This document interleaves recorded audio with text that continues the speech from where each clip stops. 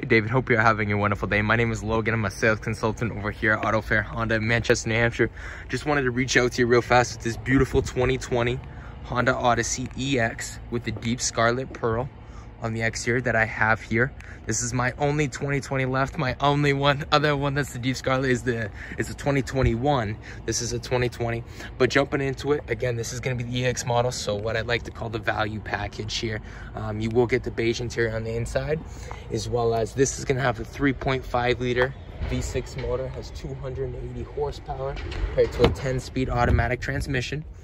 You'll get the power locks, power windows set up right there, as well as your eight-way power adjustable uh, driver seat with the lumbar support.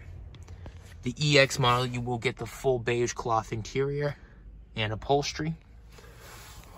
This will come with heated seats, uh, backup camera, Bluetooth connectivity being located on your touchscreen, as well as I'll take you right to the key fob here you will get your power release door handles as well as the remote starter being located right there. Being in 2020 will also come with the full suite of Honda sensing safety technology with your adaptive cruise control and lane centering assist being located right there on the right side of the steering column and the lane departure and forward mitigation being located right there, which I absolutely can go into more detail when we find a time that works for you to come on in. Taking it back here, this will have the power door handles on the key fob.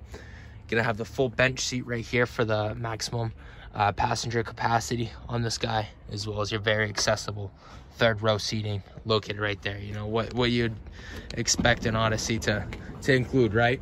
Um, just wanted to briefly kind of go over some of the features. If you have any further questions or concerns for me, my friend, please just let me know. I'm here to be a resource to you. But other than that, thank you very, very much for the opportunity, and I look forward to working with you.